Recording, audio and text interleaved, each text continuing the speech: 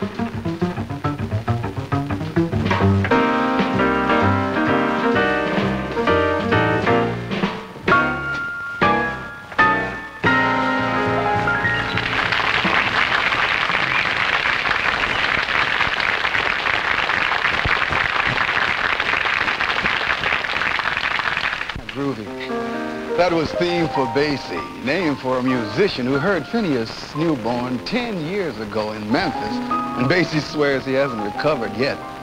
A reviewer once said that Phineas has a command of the instrument to make other pianists weep, and the ability to translate into immediate action any thought that comes into his head.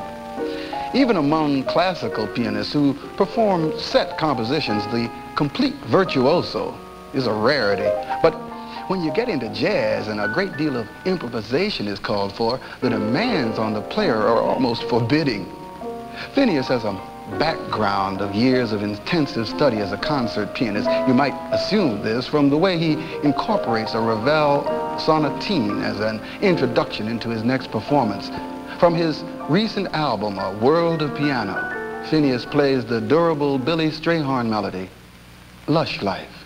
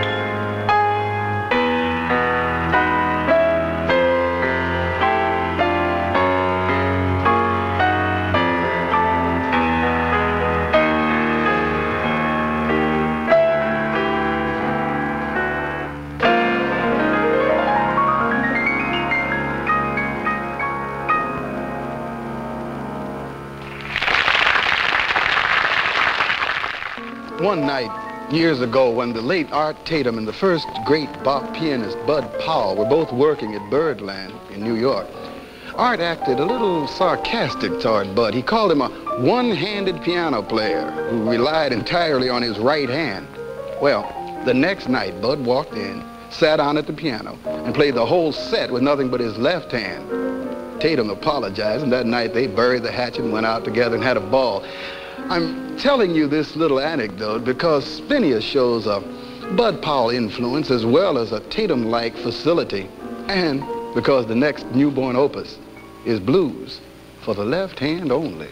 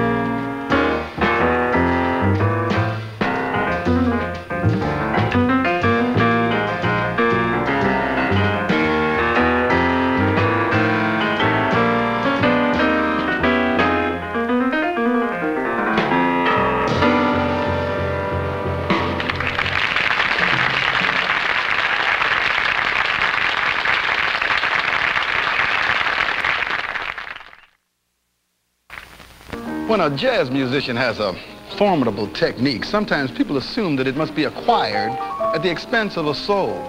Critics throughout the years have said this kind of thing about everybody from Art Tatum on down. But if you want the real answer, just listen to the wonderful, tender warmth Phineas Newborn, along with Al McKibbon and Kenny Dennis, instills into this traditional 16-bar pattern with its very subtle altered chords. It's called the New Blues.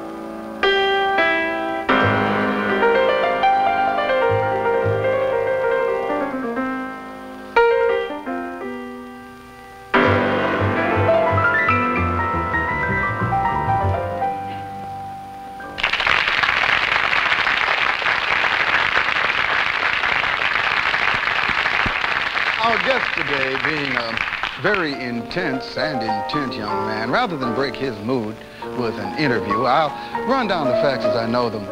He's 31 from Whiteville, Tennessee, and he's worked in all kinds of settings from rhythm and blues in a combo featuring his father on drums and his brother on guitar to Lionel Hampton's orchestra and an army recruiting unit.